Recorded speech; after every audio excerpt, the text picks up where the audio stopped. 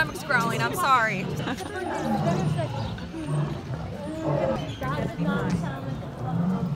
I'm gonna be There's so no lion. upset. There's I so like that kind of surprise. Yeah, you're gonna be okay. I've overcoming been- your cancer. I've been scared enough the past two years. You're, Oh I know, I know. This isn't going to be scary. This is going to be a blessing. You're going to love it. I promise. God, I hope it's like a koala. It's gonna be great. I'm nervous. It's gonna be okay. I just need you to open your mouth, like, just really quick. open your it's mouth. okay. You're going to want to open your mouth. You know, yeah. my mouth is like a danger zone right now. it's going to be.